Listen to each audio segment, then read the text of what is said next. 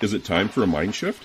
If you don't know what that means, then join your host, Dr. Clint Heacock, a former evangelical Christian pastor and Bible college teacher of over 20 years, along the journey of deconstruction and reconstruction of faith, life, religion, and spirituality.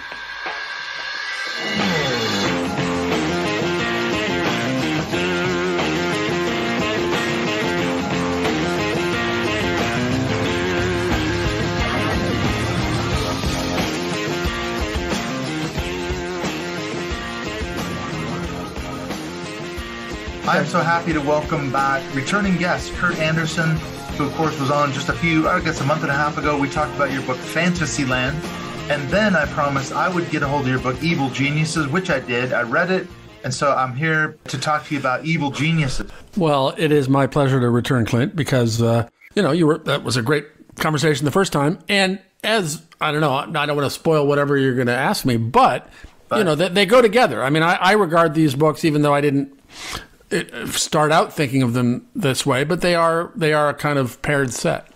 Mm-hmm. So that's the question then. How is it a sequel to Fantasyland? Because I wasn't sure what I was going to expect either. When I started going through uh, Evil Geniuses, I thought, okay, where can he go from Fantasyland? Yeah. But um, I, I, was quite surprised at the depth. Really, I thought it was it was almost more of an academic study in that sense. All, you did so much research for this yeah. book.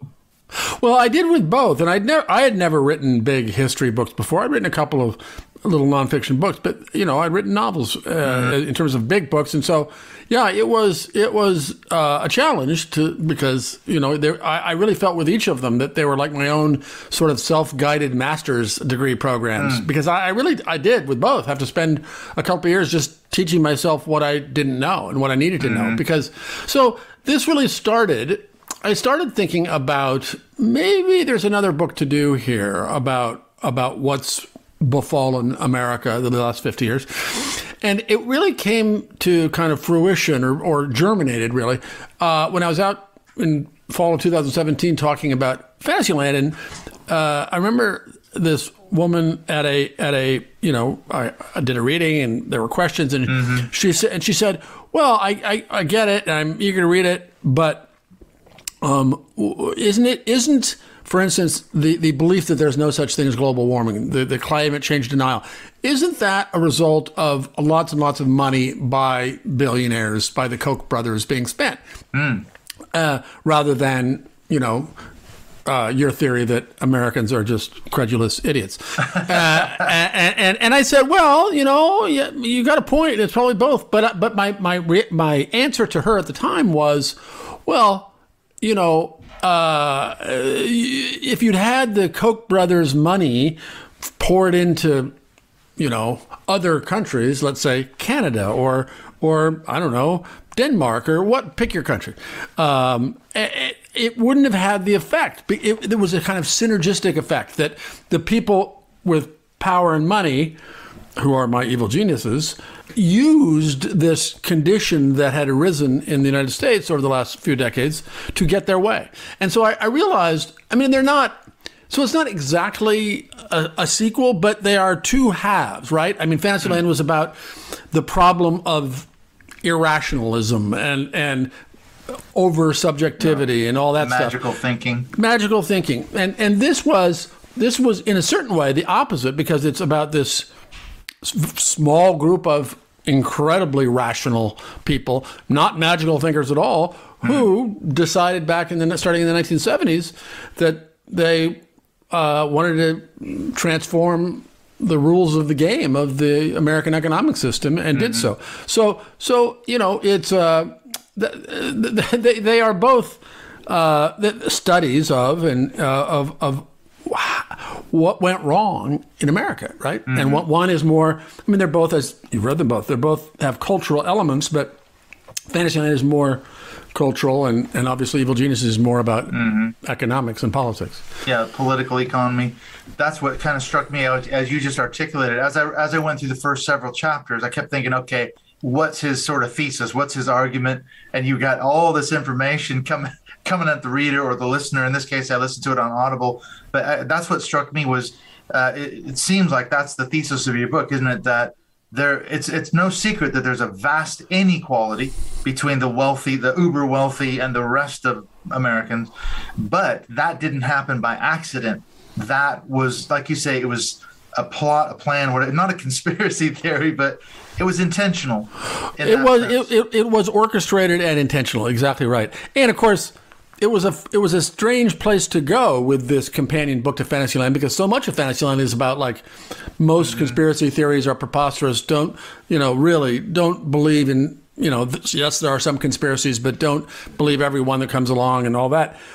And and I and I part of me realized that my temperamental uh, disbelief in conspiracy theories of the traditional nutty kind had kind of blinded me to the fact that there was this orchestrated, deliberate, uh, you know, campaign mm-hmm. by the, the, you know big business and and, and right wing billionaires and and and and you know earnest libertarian zealots of various kind to to change America and to roll back what had been you know a, a very successful, prosperous mm-hmm. uh, America that came out of the New Deal. So it was it was it was funny for, for essentially as, as, somebody as more than one person has said to me like well, hey you write one book saying that conspiracy theories are a bunch of nonsense and here then you're spending a whole book positing the conspiracy theory. Right and, it's all a conspiracy. Well you know and and and it, again it, it, part of what I think is important is and I at the end of the book I talk about you know the, the problems of non-binary or the problems of binary thinking. Mm. We should be mm. more non-binary, and and and that's true of this subject too, right? I mean that it's not either n- not a conspiracy or a total conspiracy. It, it, it didn't just happen. But it wasn't mm. like eight guys in a room for 30 years, you know, like yeah. Mr. Burns on The Simpsons or anything. But as again, there were more of those eight guys in a room scenes than I ever had any mm. knowledge of. Yeah, maybe Mr. Burns was in there with well, Dracula and practically, practically, everybody else. You know, excellent. Uh, yeah. I'm a huge Simpsons fan, so uh, yeah, I can resonate with that.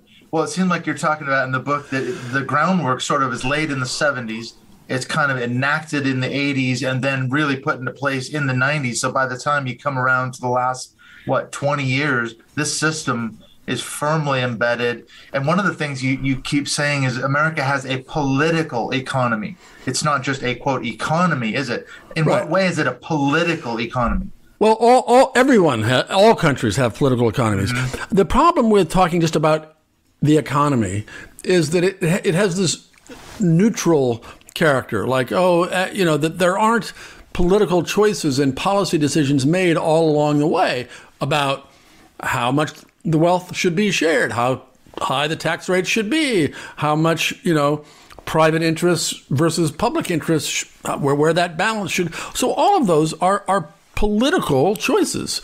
And, and so I think it, and I think it's important for all of us to think of to think about the system in that way. Uh, that it's not just oh, economics is economics, and and that there is only one way even to organize a free market capitalist system. I mean, mm-hmm. as I explained, there are many, many very distinct flavors of that from the Nordic countries to the UK to America to Canada. I mean, it, it's done differently. So I think mm-hmm. it's just it's important to, uh, and I and I and I make that point early on at the beginning of the book to say, yeah, it's it's politics. It's not just, it's not like the economics and the free market system are not like some, some, you know, given piece of nature. You know, the, there are choices made, and in every society, the governments, either democratically or not, create the rules by which business happens and jobs mm-hmm. are, are created or not, and all that. So, you know, that, that's what I mean by political economy. Mm-hmm. Well, and it strikes me that you're arguing in the book that these people, I mean, not these Mr. Burns in a room somewhere, but, but there, there were people, no doubt about it, that met in boardrooms and wherever that put together a strategy by which they could, they could enact it politically because it wouldn't have happened. It seems like you're saying in the book without certain political moves and legislation that then favored big business, that tax cuts for the wealthy. Those things don't just happen by accident, do they? Right. No, it was 100%. And and I, see what I didn't know because I, I should have been paying, paying closer attention, but it, you know, it, to some degree it takes looking back in retrospect to see it. But mm. but okay, I, I'm I'm 25 years old. Ronald Reagan is elected president. Oh, that's a big deal. That's a big change. But I I've, I, I hadn't realized the degree to which it, the, the, the, the groundwork was really significantly built from 1970 on, you know, mm-hmm. it, it, and and that's people don't know that very much. That that it wasn't just oh, Reagan came along, we elected him, and we cut taxes, and everything was yeah, about deregulation. yeah, yeah. There was this building of this of this new paradigm and this counter establishment that took a whole decade.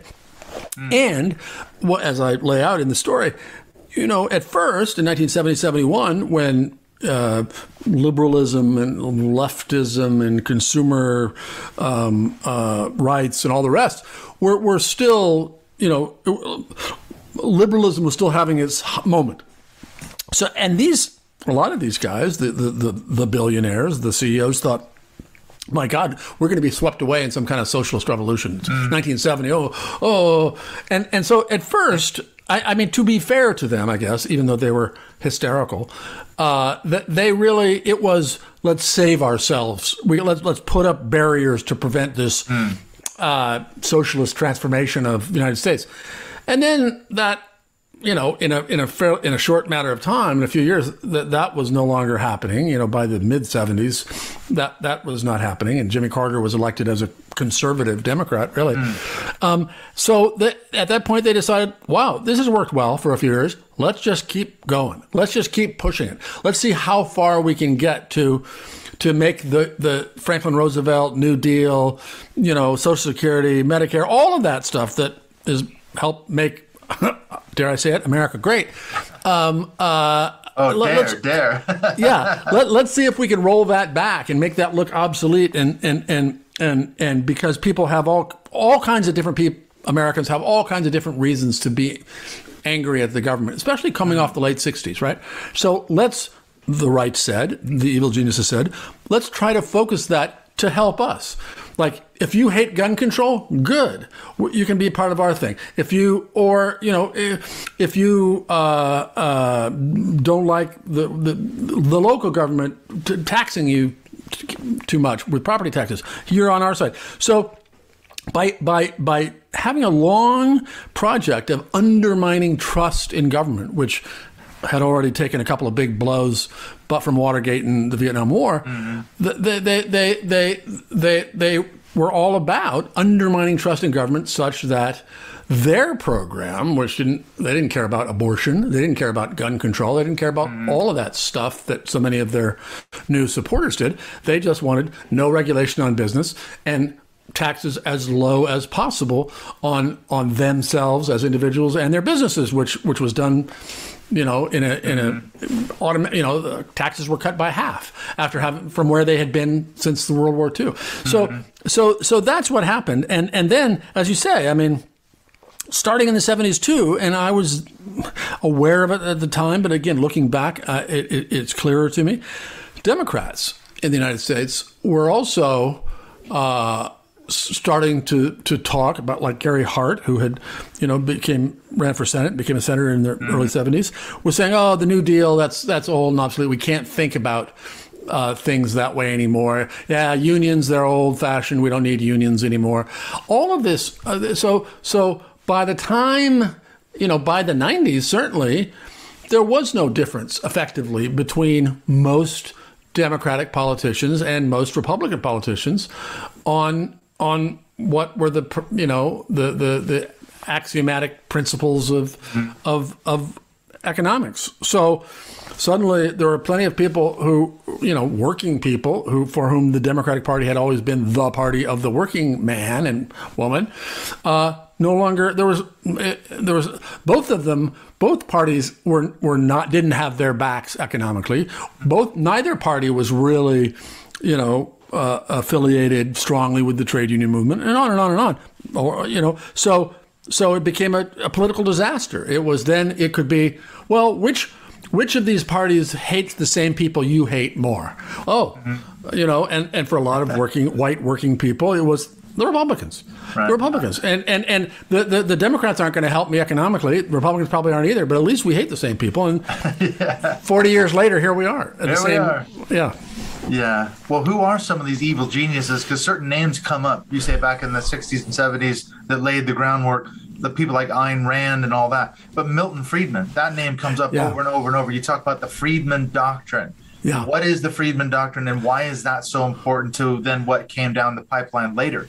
Yeah, Milton Friedman was was an interesting character, really interesting character. You know, he he, he came of age in the during the New Deal, worked for the New Deal as his sort of first job out of economics school, uh, but then had a lifelong crusade to get rid of the New Deal and get rid of government intervention to help people. That he, he, he worshipped the idea of the free market taken to the max. He was, until, you know, the 60s, 1960s, so for the first 25, 30 years of his professional life, he was a really well regarded economist. Uh, but but a fringe character, you know. He he was not he was not in the mainstream. He was the one you know, libertarian right wing economist of in the in the uh, pantheon of legit American economists. Uh, but but again, he and his his followers and his and some important allies uh, were building, building, building, creating societies, creating, you know, you know, they were they were outcasts effectively, but through the 40s and 50s, and uh, we're, you know, we're working at it. And then suddenly in the 1960s, when anything goes, including Milton Friedman's right wing economics, you know, he had a he had standing. Like, hey, well, let's look at this. Let's maybe maybe there's something to this. And so, 1970, the fall of 1970, the height of you know n- new left agitation in America, Counterculture. yeah. yeah, yeah. The New York Times Magazine, uh, you know, the very epitome of elite journalism, um, publishes this five or six page uh, takeout by Milton Friedman called The Friedman Doctrine, in which he basically summarizes in a few thousand words what he had been writing more academically for mm-hmm. economists for years and and and said just absolutely said all of this talk that companies have any obligation to help society to clean the environment to help black people to any any of these social responsibilities are nonsense. A company has no responsibility whatsoever except to make profits. Period. End of story. And anybody any business person who's doing anything else is is is a is a socialist mole. I mean it was it was extreme and extreme even for the time. And and here it is in the new york times. So it was a it was a it was you know it was a little over 50 years ago that it that it that it came out and it was like a really a, a, a cannon shot uh, that uh, you know excited people of his uh, uh, who, who agreed with him, and, and, especially this little coterie of rich billionaires like Charles Koch and David Koch, these these heirs to a big oil and coal fortune, who became, in addition to building their big, uh, their father's company into a bigger company, uh, became political activists, uh, and other other the, the John Olin, another uh, heir to a to a chemical fortune, and and there there there are a whole bunch of these guys who who starting in the early seventies said we got we we have to we're we may have survived the late 60s, but we have to really build a new counter-establishment. Mm-hmm. There was this again another thing that I that I that I didn't know about until I started working on this book.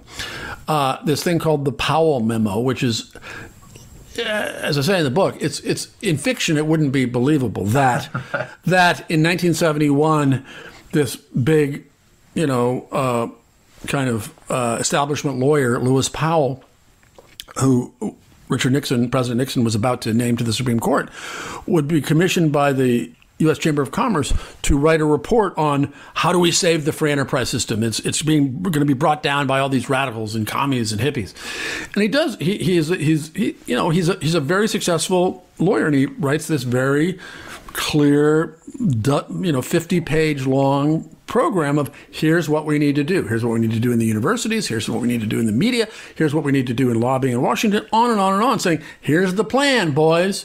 Mm-hmm. And and and you know, it, it, didn't get that much. First of all, it was confidential at first in 1971, and it, was then it was leaked a year later. But it was still seemed like some oh, some cranky right winger fringe thing, and it sort of didn't get that much attention. However, it became virtually scripture for for this group of of influential, rich uh, right wingers who who wanted to to turn the clock back, and and and uh, and it's just it's it's it's amazing because it, it really look at, looking back at it. I mean, if again, I wasn't familiar with it when lots of people became familiar with it in the 1990s, but it, it must have been just like a Rosetta Stone of what had just happened, right?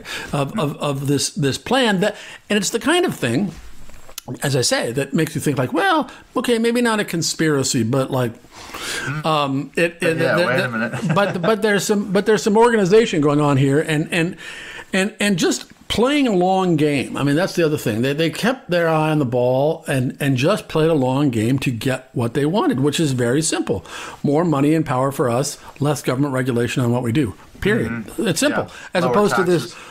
The yeah, the sprawling democratic platforms and, and agendas are all over the map. Whereas this is really simple, and all this other stuff like you know abortion or or, or the culture war stuff or all all the all the we're, those are those are distractions. I mean they, they are that that my guys my my characters the evil geniuses um, were you know were it was it was the price of of the political price they had to pay to get the the uh, people to join their their their program.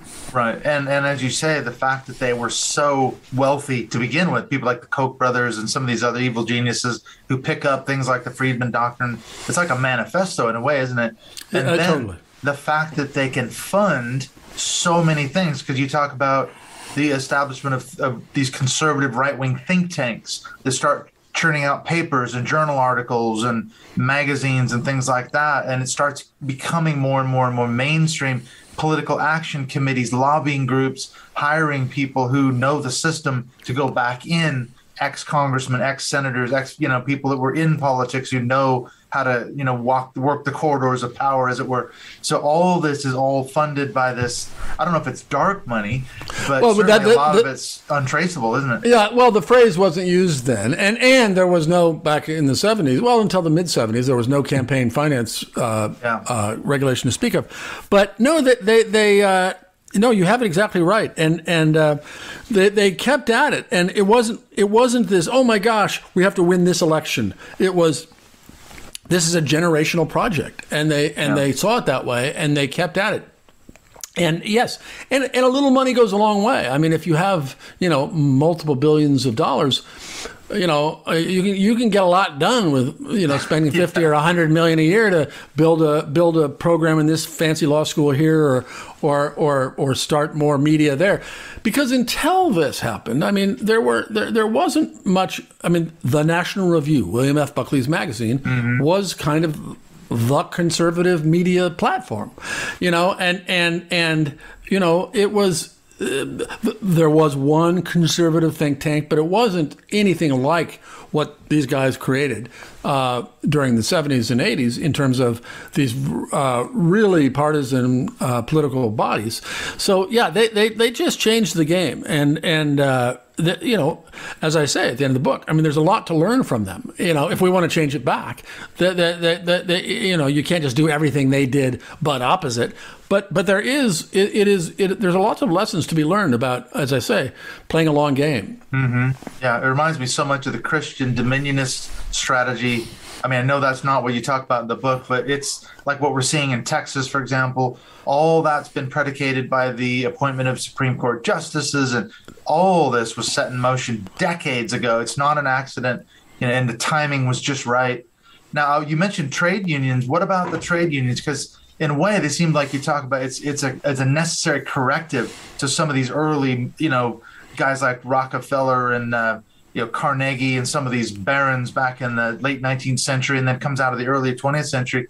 The trade unions were desperately needed to bring some equality to the workers, but then what happened? Corruption sets in, and all these other things. Now most trade unions have virtually no actual power. You know, maybe I don't know the biggest one, maybe the Teamsters union. If they go on strike, they could do some damage, I suppose. But it's it's it's a toothless sort of lion, isn't it now? Well, yeah, except in you know in places like the auto industry and other places Yeah. it isn't. But and and frankly, in the in in the public sector unions of police and and other public Mm, yeah. sector sec- sector workers. I mean, the, the the the defanging and emasculating and crushing the unions. Apart from yes, some of them were racist. Yes, some of them were corrupt, and all those reasons that they didn't do themselves any favors mm-hmm. in the in the in the fifties and sixties. Part of the plan was to basically reduce reduce the power of workers at large, whether they were union members or not, in the system.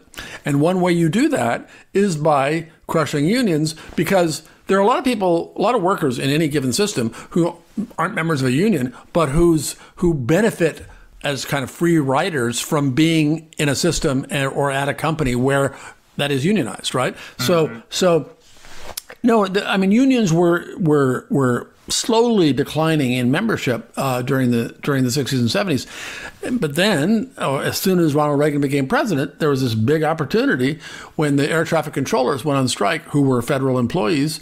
And, and whose union, whose newish union, had been one of the few unions to endorse Ronald Reagan for president months before. He said, "Now, if you go on strike, I'm going to fire you all. And they didn't believe it because that's that's not what was done. They went on strike. He fired them all. And and uh, it it it. Uh, I mean, apart from the virtues of what they were demanding in, in 1981, the, the it was this gigantic signal to unions, to workers, to companies and company managements that oh the game has changed. Uh, uh, you know and and and immediately i mean you know when every strike or not every strike but all of these big strikes that happened all during the 80s the, the employers the big companies would would fire would would bring in replacement workers scabs, Yeah, scabs. and and then the then the strike would be over, usually with the union getting almost nothing, and the companies would say, "Sorry, you don't have a job anymore. These replacement workers are t- keeping your job." And it happened again and again and again. So the crushing of unions was not the only thing that happened, uh, but it was one of the important things that happened because there are lots of ways for workers to to have their you know to, to have a fair deal right? I mean minimum wages is one way. Um, um, having overtime pay is another. Those two in their sneaky stealthy ways start thanks to the evil geniuses and uh, uh, congress people in washington began being uh, uh, taken away uh, in the 1980s as well. And so so across the board unions and elsewhere just the, the, the leverage and power of workers was was denuded. And and and in a way that that just you know I mean the UK has its own version of this and other countries have their own versions but nowhere in the developed world what did it go from you know so quickly uh, to, to such a, a, a crushing of, of worker power, and and that's really hard to build back. Now, you know, you see some hopeful glimmers when this, you know, what was a, seemed like a crazy proposition and just a few years ago, oh, fifteen dollar an hour minimum wage. Now it's completely normal, and that's what most Americans mm-hmm. think it ought to be. So there are other ways than than recovering and restoring big, powerful unions like the AFL-CIO. And I'm not saying they shouldn't be recovered and mm-hmm. revived, but there are other ways to, to try to skin this cat and and and and restore, you know, a, a, a fair balance between the mm-hmm. power of of owners and investors and and the power of the people who work for them and the power of you know citizens uh, who, who who who you know are suffer from the monopolistic practices of all these big companies.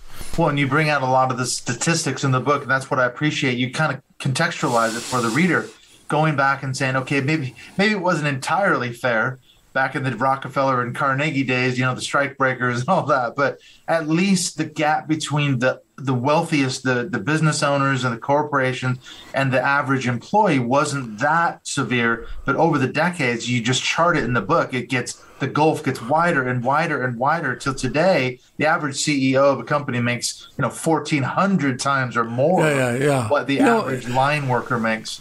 And, and and again, that's a that's the result of a lot of things, changes of regulations, most of which none of us ever thought about or, or cared about at the time they were being changed. Different laws, different tax, uh, you know, lower mm-hmm. taxes on the wealthy, all those things, but also a kind of a kind of cultural propaganda campaign to to say that um, it's every person for himself, for themselves, and yeah. and and and that's what made America great. Our our pioneers going out by themselves, and and and that was a you know that was sold really effectively mm-hmm. in in a kind of as I make the case uh, in this in this appealing to Americans' nostalgia for the old days, and and oh, yes. and and and you know uh, little did they know that they were that there was a lot of terrible things about the old days that they didn't want, but they weren't so good. There you go.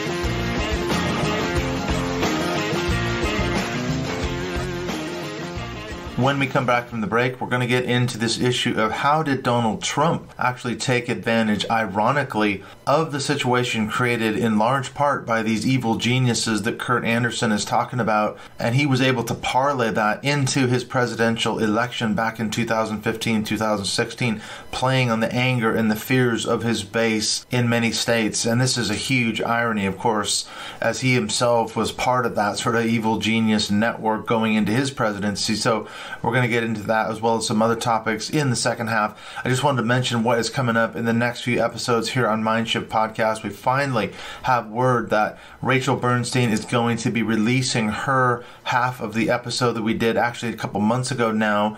She and I did two episodes back to back. One's going to drop on her show on the Indoctrination podcast, and the other one is going to drop here next Wednesday as I'm doing this recording now, which is the 6th of October. So that is really cool. I'm looking forward to that. Look for that second half of the episode coming out here on Mindshift Podcast, and you can also head over to the Indoctrination Podcast to catch the first half of the chat that we did. Rachel and I had a fantastic conversation about religion and mental health. She's a therapist herself. She deals with a lot of people that have religious trauma syndrome as well as who are leaving religion and just trying to work that out, process and, and build a new life, build a new identity.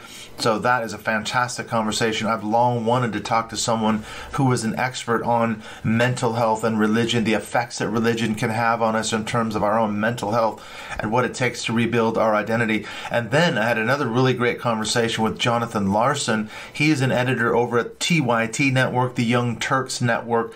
He's been doing, if you followed him at all on Twitter or on social media, he's been doing a really fantastic job, an investigative reporting series on the TYT network on the family. And this is the same group that Jeff Sharlet reported on uh, several years ago with his book The Family, and then the follow up to that, which is C Street. And of course, that's the Netflix documentary The Family. So if you don't know what that is, go on to Netflix and watch that series on The Family, or you can pick up Jeff Sharlet's book. But basically, what's happened, I'll give you this little bit of a sneak preview of that conversation with Jonathan Larsen. He was able to get some of the invitation lists to the annual prayer breakfast, which is held in Washington, D.C. I believe it is every February and the family is the one who's behind this. This is really the only public sort of event that they do. Everything else is designed to be secretive, under the table, under wraps, behind the scenes. They are a dominionist group. They've got stuff going on literally all over the world. And again, Jeff Sharlet touches on this in his book, The Family, and in the Netflix uh, series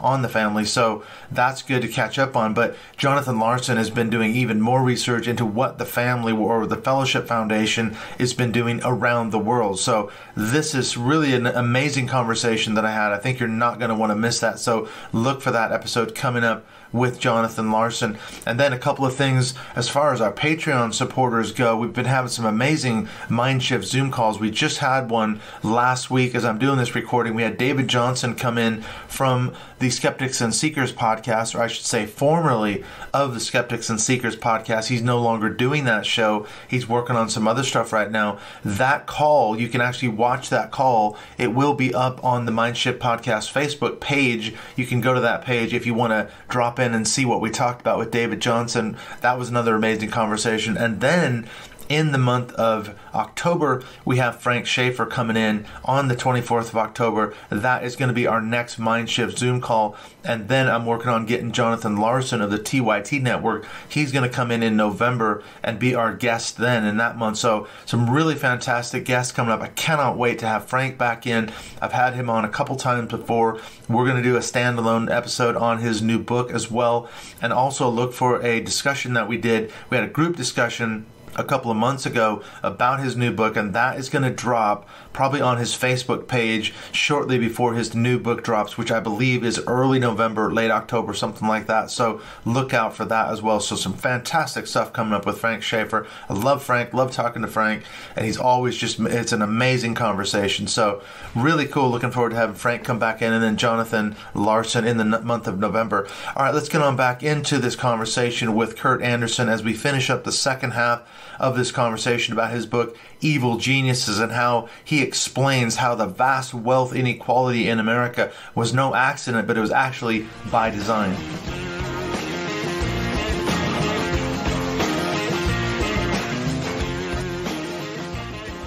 Well, and it's so ironic, isn't it, that you look at the heartland of America. Okay, there's steel mills that are closed down, coal mines that are shut down. A lot of that's the result of this strategy you're talking about. And yet, a guy like Donald Trump could come along in 2015, 2016 and make the case to these people in the heartland of America, we're going to reopen these factories, we're going to reopen these coal mines, we're going to put you back to work, even though it was complete nonsense. It couldn't happen. We're bringing the factories back. I mean, he lied through his teeth saying, you know, Toyota's coming in, Honda's coming in to places that had automotive workers. And when none of it was true, uh, he didn't create millions of jobs in those kind of. He didn't open up coal mines and steel plants and you know all that stuff. But he was building off of all this stuff that you describe in the book, and he was able to make it work. These are the Trumpists that are cheering because he's going to bring back the coal mining jobs. I mean, it's never going to happen. Yeah, and I just don't. Uh, that's the part of it that I mean, the the reality check. Like once once as it was immediately when when the the lie was revealed immediately. And and by yeah, the way, no it's, way. it's, it's what you say and more. It's it's he said, you know, we're going to have a better healthcare system than we've ever had, more yeah. generous. You know, uh, I'm going to I'm going to rich people like me are going to pay more in taxes. Wall Street isn't going to be able to pick your pockets. I mean, he he. he I, I encourage your listeners to listen. Look, look up Google Donald Trump's final two minute ad in the 2016 campaign. He, it could be a Bernie Sanders ad. I'm right. serious. And, and and and of course, immediately he's elected. That no, nope, sorry, not going to do any of that. And in fact, the only my only legislative accomplishment is a 1.7 trillion dollar tax cut for the rich and big business. So how that keeps going, which I guess gets back to my previous book, Fantasyland, which is to say, you know, uh, logic and, and, and, and, critical thinking are not necessarily mm-hmm. Everyone's strong suits. But it's, it's amazing. Now, I also think, and I spent a lot of time in this book, in Evil Geniuses, talking about how what a disservice so many Democrats and liberals did by not presenting an alternative economic vision to the Republicans for decades. It takes a while you know, it takes longer than six months of a Biden administration to convince people who feel like you know, these that that if they're middle class or working class that uh, there's no no not a bit of difference between the Republicans and Democrats.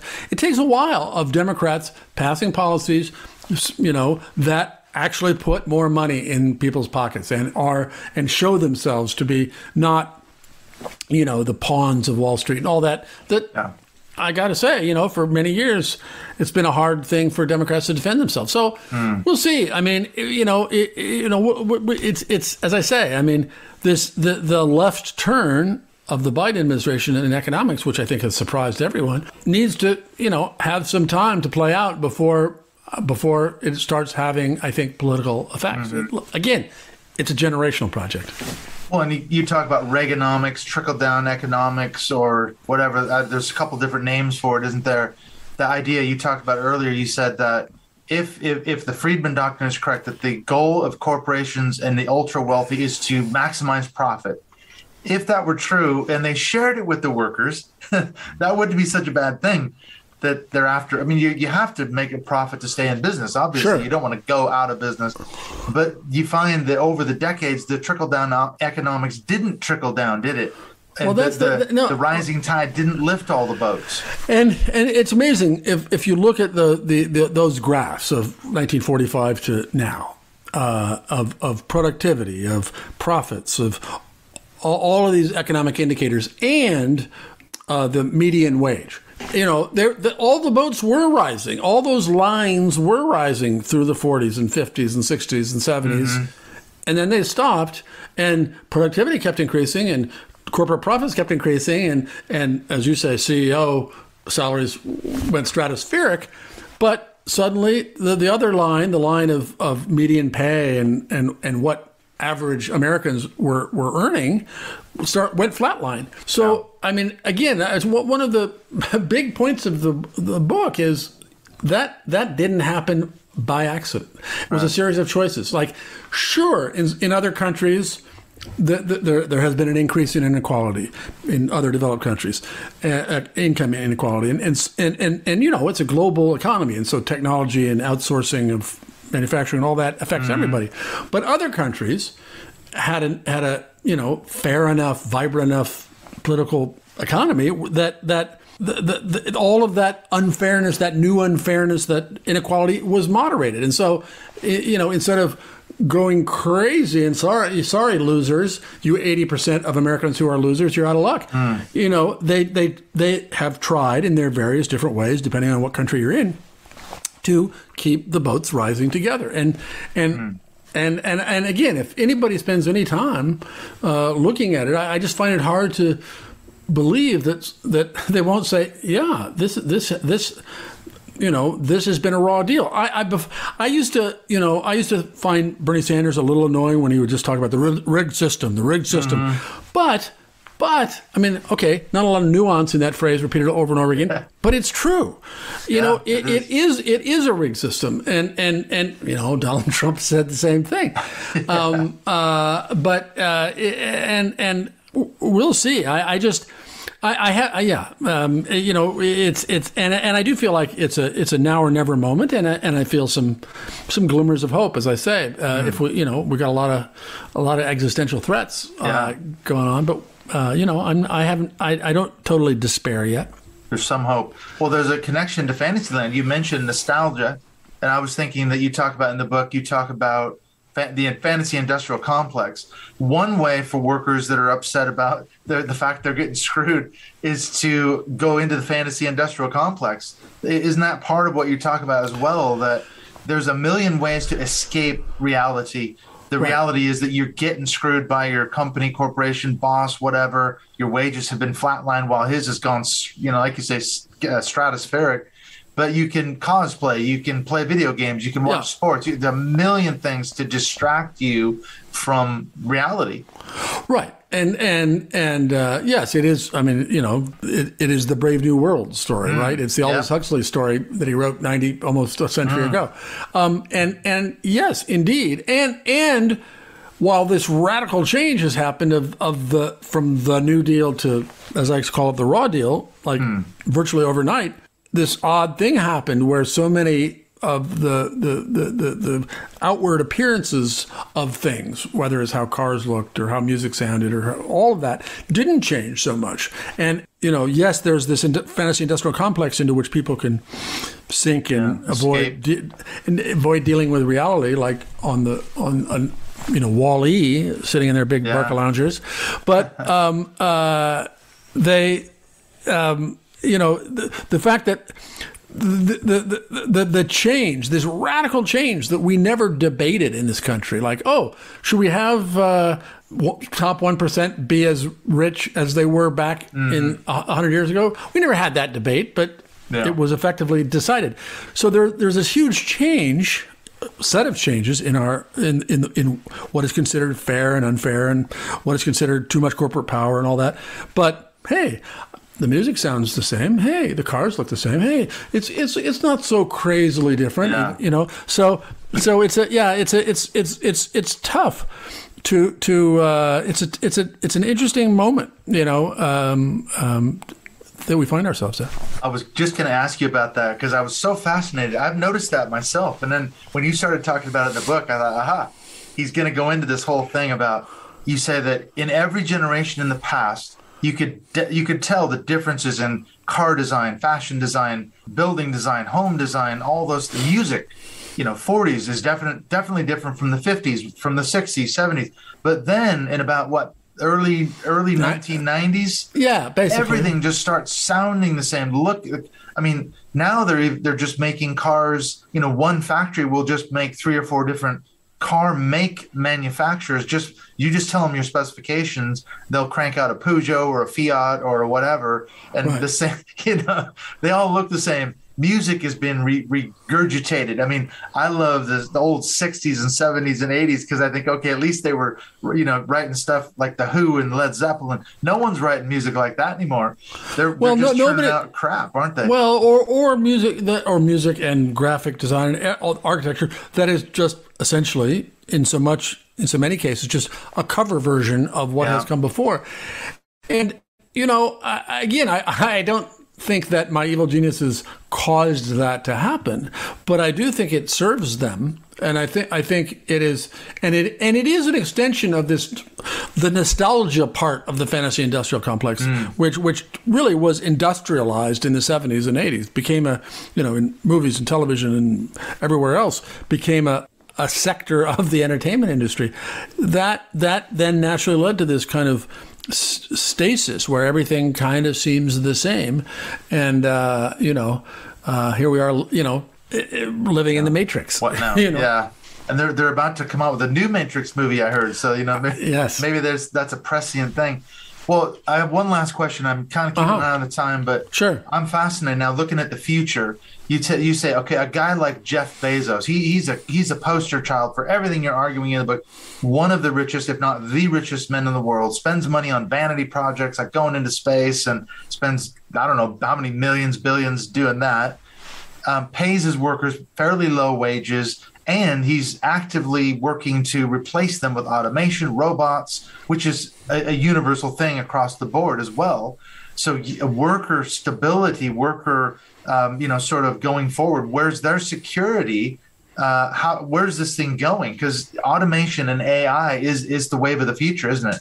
Hundred percent, a hundred percent. And in fact, I just finished producing a podcast called um, "The World as You'll Know It." That's about mm. the future of technology. We have a whole yeah. episode about artificial intelligence, uh, and as you know from the book, I was already I spent a lot of time looking at that, and the certainly the majority of experts believe that there simply aren't going to be enough jobs for human beings to do at a decent wage. We're not going mm-hmm. to need them because you know, robot all, can do it. Robots and AI can do what we need doing and do better. And, yeah, yeah, and and that and and the problem is that needn't be a disaster, right? If we had a a, a society where we shared the wealth more and and yeah. we, we we could begin sort of the slow glide path to an amazing future where yeah. you know people didn't have to work as much and people didn't have to work as hard and and and and but everybody who was living whether it's some form of universal basic income or whatever it is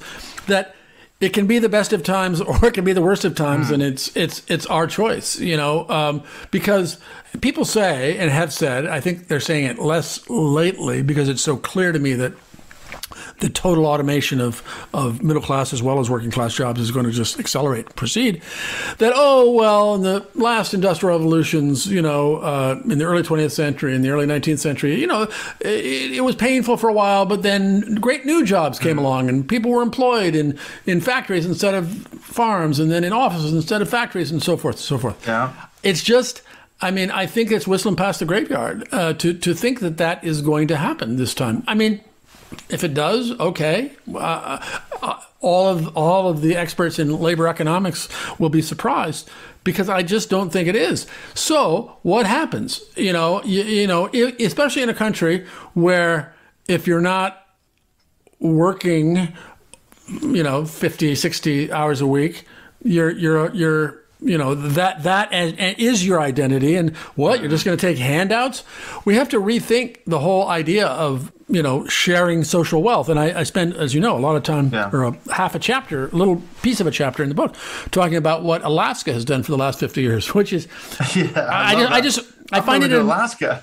it, it, it, well, it's an, it's an, it is free money in this most right, conservative, yeah, libertarian Sarah Palin, Sarah Palin state yeah. uh, in America, where for 50 years after they ever since they had this big oil uh, strike in the, on the north shore or yeah. top of Alaska, they said, okay, we're going to take a big chunk of the royalties from the oil companies on this, and we're going to give it a lot of it directly to every Alaskan every year. Mm-hmm. So every man, woman, and child in Alaska for the last 50 years it gets between a thousand and four thousand dollars a year, depending on how the stock market mm-hmm. does and so forth.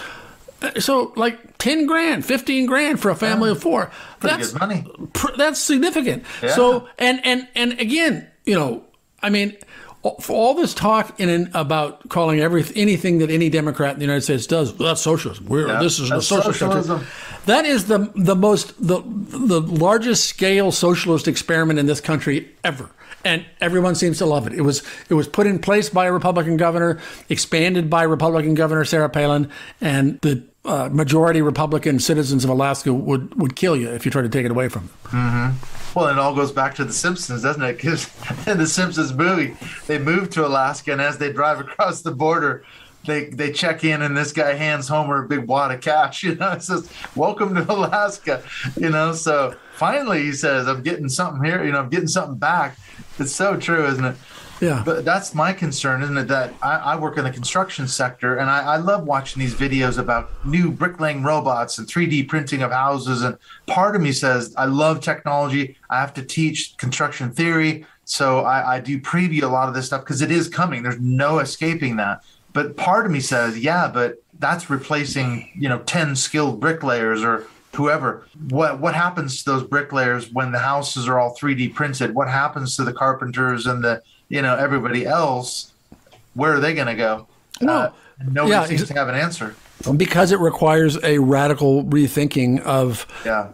economically and culturally, like what what is life all about? I mean, yeah, we know it's about loving the, your friends and and having nice gardens and raising good children and blah blah yeah. blah. But like, this is going to require a massive change if if there just aren't enough hours of labor that human beings need to do, and there mm. won't be. There will be less and less, and so. You know, it's been written that there we, we risk having the useless class as mm-hmm. as more and more people just become you know are, are no longer economically important yeah, well viable. what are they and and yeah, and, and, and, and we have to start rethinking of of what makes you know a, a, good and worthy life. I mean, John Maynard Keynes, I talk about in the book, you know, almost 100 years ago said in about 100 years, if we keep you know efficiency uh, keeps increasing through automation and and and and the gross domestic product keeps increasing as it has in about 100 years there's going to be enough money and enough wealth created that there's enough and here yeah, we are here we are at, about at that point, and and uh, and as he said again in 1930, that's going to be a real problem to figure out how, after centuries and centuries of scraping and suffering and and and and, and dealing with the economic problem of scarcity, what do we do? Well, so far we're. I mean, we we again. I'm I, I, take little bits of hope from mm. um, Andrew Yang in the last election, and you know, putting universal basic income on the American political agenda as mm-hmm. as a way to, to, to, to, deal with this problem. So people are beginning to think about it in a way they just weren't even, you know, mm-hmm. five or ten years ago. But but it's it's huge and and and it is and it is amazing to me that it it, it you know it it could be uh, an extraordinary on, on the line between dystopia and utopia, and you know, utopia could be annoying, and yeah. there's no such thing probably as well. But but we we have the opportunity with AI, I believe, to get a lot closer to utopia. But right now, the mm. way things are set up, uh, as a, thanks to the evil geniuses, mm. you know, uh, we're our destination is dystopia in, in, in given yeah. what, what what's going to happen with AI and and and how things are produced and made. Yeah, well, and it's like you say, it is the future, and there's no question about it. That is where technology is going. You say in the book, robots are getting cheaper, they're getting better, they're more effective at doing more and more tasks. Uh, so it's going to come to the point when, and it is already happening, is that you walk through any factory today, half or more of the machines in there are robotic doing menial tasks that humans used to do, and right. that's all. And that's going to continue happening. Right. No, and we just we have to, you know, we have to figure out how, how to deal with that, and yeah. uh, we've barely begun. We barely begun. Well, I think you need to go convince Jeff Bezos to share some of his money. That's my that's next on my agenda. Yes, he, that's he the could. irony of the whole thing, isn't it? Guys yeah. like Bezos and Bill Gates, and they they have. I mean, you, we can't even wrap our heads around how much money they actually have versus what they actually give back, what they could do with that wealth. Um, instead, they're you know hoarding it for themselves. I don't know. So yeah, that's a hard call. It, well, yeah, it's not that hard. well, uh, to get, I'm talking about to get him to share it. yeah, but but I but you know you the, you look at the polling about uh, should rich people what do you think of a wealth tax, for instance, mm-hmm. which is a crazy radical thing.